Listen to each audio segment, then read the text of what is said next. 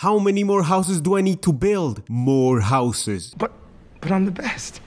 But are you a lip cuck and a bass trad? What the f does that mean, Kobe Bryant? You're welcome. What the f is he talking about? Do you wanna have sex? Sex. Do you wanna Bus.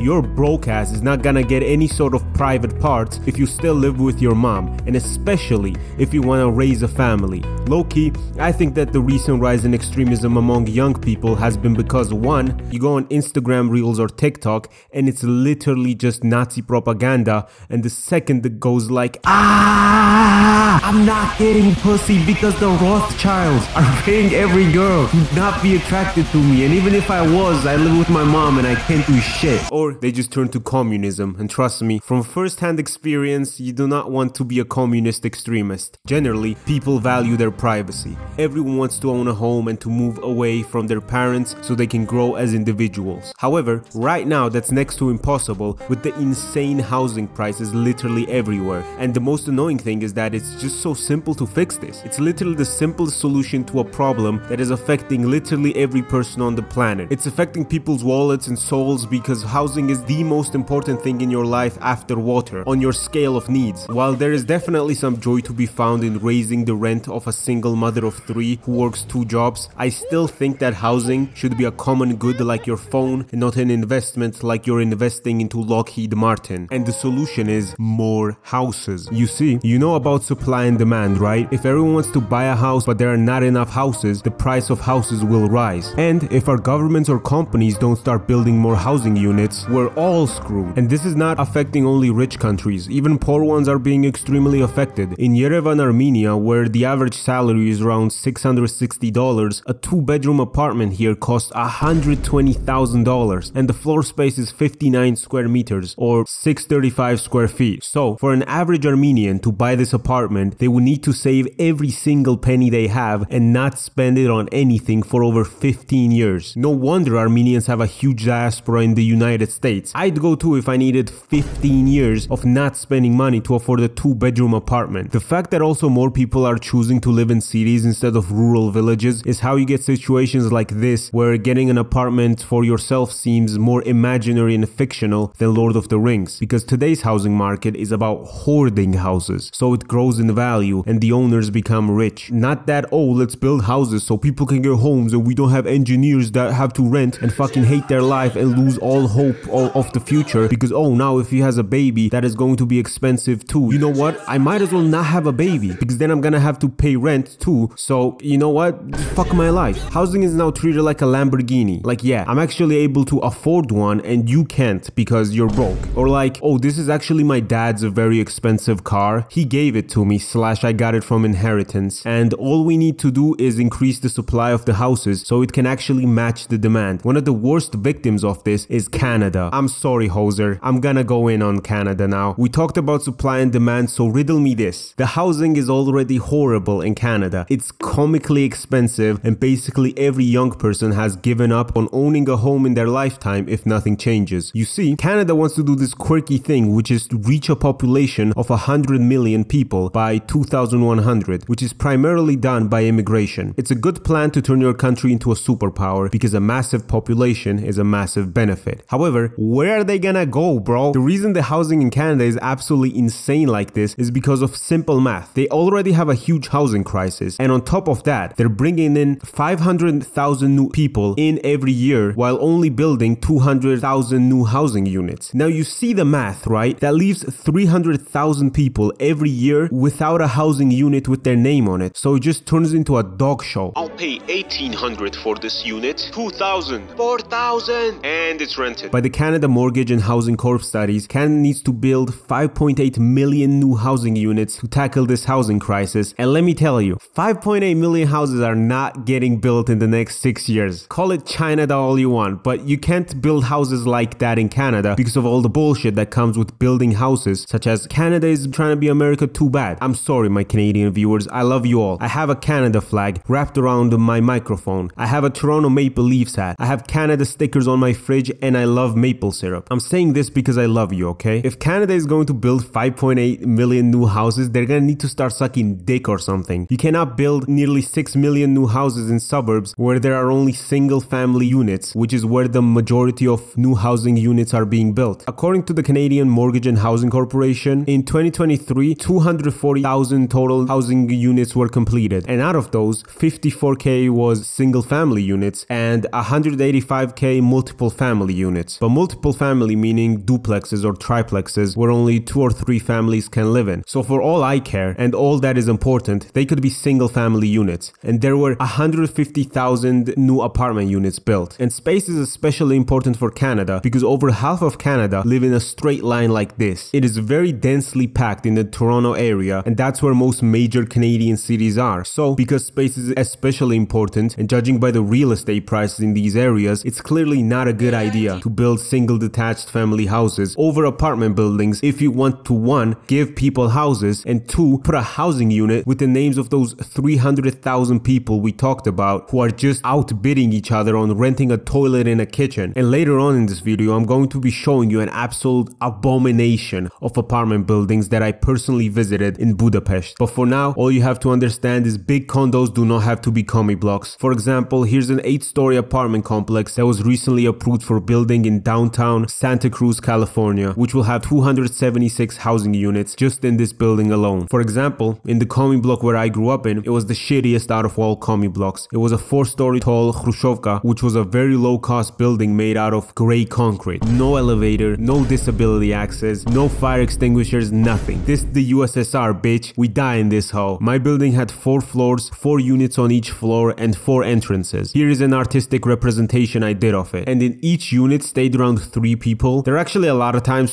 4 because the apartments were decent sized, but let's say 3. In each entrance stayed 4 units by 4 floors by 3 people. 48 people in 4 entrances in this concrete box was able to house 192 people and it was probably built for like $5 because it's just concrete. Let me do a simple experiment. Jamie, Pull up Toronto zoning laws, please. As you can see, the yellow are where only single family units slash duplexes can be built. And these little orange dots you see here and there are where the apartments can be bought. Now, let's compare the affordability. If you want to buy a two bedroom, two bathroom house in this zip code, you're gonna have to cough up 869,000 Canadian or 643 American. And this house looks like something out of the Clockwork Orange. And a three minute drive away from this is an apartment building where you can get a three bedroom, two bathroom apartment for 429 Canadian or 317,000 American. That is a 51% decrease in price and you get an extra bedroom. And the only reason this housing crisis is happening is because of the zoning laws making land artificially scarce. So developers can't even build an apartment building which would house more people and help out this absolute insanity of a housing market. It's the exact same story in California which has a comical amount of homeless people despite being one of the richest states. They usually don't allow developers to build apartments so maybe they can solve their homeless crisis and drive the housing prices down because this is what their zoning map looks like. It's even worse in Los Angeles where 71% of all land is single family zoning while having the population of my country cannot house the population of Georgia in your city when 71% of it is just dudes living in homes. You can clearly see the disparity in this little comparison on the screen here. Yo, and the craziest thing about this is that a lot of the reason why single family zoning exists is literally because this suburb will cost more, therefore black people can't live here with me, which did not work out, but it was literally this. Uh, my wife uh, very scared from a man with a chocolate face. There will be in this community. Uh, there may or may not. Uh, they would have to be fairly well off to live in this area. So they would not behave like the oh other no! chocolate oh face. no! No! No! 70% of an average American's net worth is their house, their primary residence. It is the biggest wealth builder for an American person. Keep that in mind. Homeowners Loan Corporation, HOLC, was a government sponsored corporation. Its purpose was to expand people's opportunities by giving them a loan to buy a home and also refinancing. So people who are like, ah shit man, I can't pay this mortgage could refinance it and not have given their houses up. And they made residential security maps, which were just color coded maps, which told the banks where they could give out housing loans. So the green was the best, where all the businessmen were. So this was a go. Blue was white collar families, yellow meant working class, EU, and then we come to red. Red meant you do not give loans out to these people. It was literally considered quote unquote hazardous, like foreign. And what qualified a place for being color coded red was their population. Foreign born people, low class whites, which were literally Italians, but mostly black people. This is so insane to see because here's a document saying, guys, this is a red zone because 25% of this area is Italians and 25% are black. The most consistent area for marking the area down as red or green was the presence of black people. If there were a lot of black people or foreign born people, meaning Italians, then it's a no go. This is where the term redlining comes from, which is a discriminatory practice practice where services are withheld from people living in these red areas like public transport, good schools, and even food. Like these people in the green areas get to eat Georgian food, and the people in the red areas don't have access to affordable and nutritious food, and what's sold in their supermarkets is like fucking canned beans and shit. Redlining made buying a house in these neighborhoods impossible to buy or refinance, so everyone just lost hope in these neighborhoods since their schools were underfunded and horrible, the food was bad, and generally they did not have the public services available when the people living in green areas had much more services available to them, better schools and everything. This is how you get O Block, which is how you get a bad reputation for public housing in the States. Is infamous for being the project, the hood. Chief Keef is from there. And coincidentally, if you look up the redlined area of Chicago, it is O Block. This is how the green lined areas of Chicago look like, even though there's not many of them, so it's clearly not the fact that apartments made this place hood. It was destined to be a poor neighborhood by the government and to concentrate poverty in these areas. I can guarantee you when Americans build apartments in the green neighborhoods, it's much better. Actually, I'm just gonna show you. Let's go to one of the green zones on the Philadelphia map, Merion Station, and look for an apartment and would you look at that, right? Of course, this is not public housing, but the point stands that the vast majority of the reason why apartments and public housing has a bad reputation in the States is that it's associated with the hoods, the red zones. However, when developers build an apartment in the green zone, it looks very nice and I'm sure a lot of people watching this would like to live there. I was laughing my ass off about these redlining policies because it's so prominent even today. Like, okay, let's look at this map, right? You see in the red line, uh, Girard College. Very red, very red line. As you can see, here is Girard College right here. And let's just take a look at what a street looks like near this red line today, okay?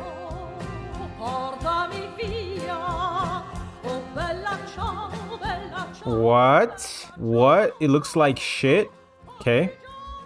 Okay. So yeah, you guys see like how street looks like in uh, this red-lined area. Now, now, let's go to the A3, the the green line, the best one. You see guys, see Sedgwick Station? Let's just see what it looks like. Let's just Google Maps right here. Okay. Oh wow, already much nicer and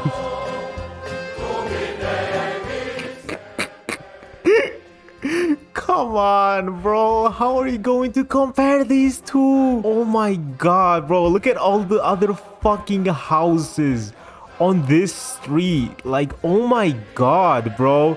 This is actually insane. It's not like, okay, we just let private developers build these houses, right? And these apartments, because with populated cities that have an extremely low vacancy rate, bro, these people can price their apartments and their rent as high as they want. Do you think they care about the people? No, they don't. They want money. They'll make as much profit as they possibly can squeeze out of people, which is why government housing is absolutely amazing to combat this. Because if the government builds up apartments for just normal people, right? Then they enter the market. And suddenly, if you're like Vienna and 60% of your city's housing is made up of public housing instead of just some developers building it up, then suddenly they cannot name their price anymore. And this is Vienna, okay? Vienna is a very, very developed city. You know, people make good money there. It's Austria, okay? However, the fact that you can get an apartment in Vienna for like 125,000 euros is pretty cool, especially when you consider the fact that Vienna houses 2 million people and Vancouver houses 6 to 670 25,000 people. And yeah, you can just see the price difference here. This is what happens when you give housing developers the opportunity to make housing into a luxury fine art asset instead of, hey, I want to have a roof over my head, you know? Next time you pay rent, think to yourself, do I really have to pay 100% of the money I make to pay rent or is it just the private companies fucking me? Also a side note, I really don't get what issue people have with public housing even if they are commie blocks. At least you have a place to live in and a roof over your head. I would much rather live in a shitty gray commie block than be like, oof,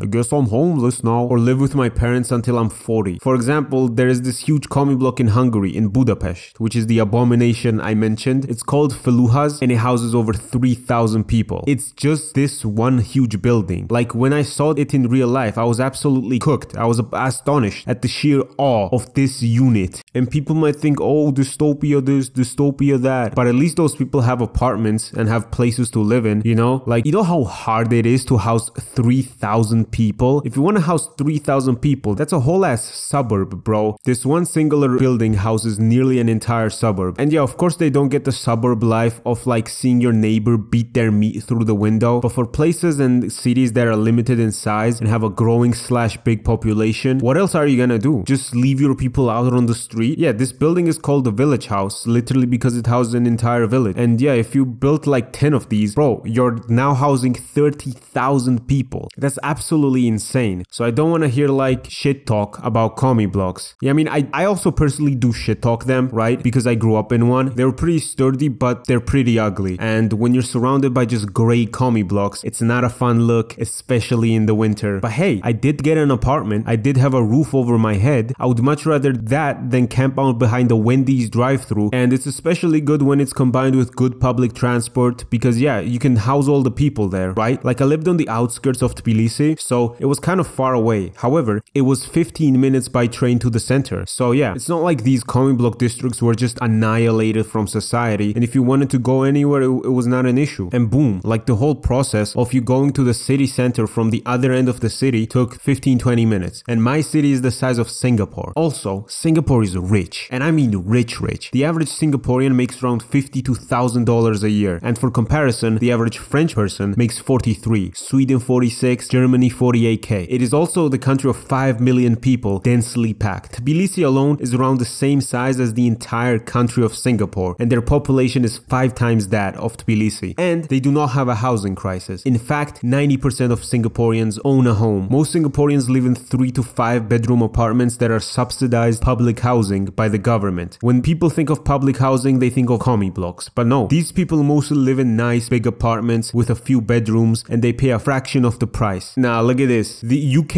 average income, $35,000. Singapore 52k. Now let's compare the real estate prices of Singapore to London. Okay, this apartment in Singapore costs around 420k USD, has 3 bedrooms, 2 bathrooms and is 104 square meters or this much square feet. This apartment in London costs a whopping 660k, has 2 bedrooms, 2 bathrooms and is nearly 400 square feet smaller than the first apartment. Once you compare this to the average incomes in these countries, it's not hard to see why people are like Jesse Pinkman when looking at real estate prices. The problem is that they're very authoritarian. Like 90% of the land is owned by the government and whenever you buy an apartment, you don't really buy it, you just lease it for 99 years. They also have an ethnic integration quota within these apartments because Singapore is a multi-ethnic country and in the 1980s they noticed that certain neighborhoods were being around 90% Chinese, some apartments were being 30% Malaysian when they're a minority in the country. So they got these laws in place to integrate the society better so South Africa doesn't happen. And when you have a good housing situation, you can also solve the homeless crisis. Finland solved the homeless crisis by giving them free houses. You know what? Fuck people, right? If you want to think with the most capitalistic mindset possible, giving homeless people houses is literally cheaper than having them on the streets. Of course, Finland has support systems to help the homeless people with their drug addiction and make them become a functioning member of society. But even if they don't go into rehab or don't fix their drug problem, they still get to live in apartments that the Finnish state gives them. And trust me, bro, these apartments are good. You would have to pay like $800 a month for these apartments in Eastern Europe and probably like 1500 pounds in London. Housing, of course, as we learned from this video, is very expensive. Finland has spent 250 million euros creating new homes and hiring 300 extra support workers. However, they still save 15,000 euros a year per every homeless person because of the savings in emergency healthcare, social services, and the justice system. So I keep telling everyone, Finland is amazing. Instead of making dystopian anti-homeless spikes under a highway, they put people in positions where they wouldn't have to sleep under a highway. Here's how you become Finland pilled, okay?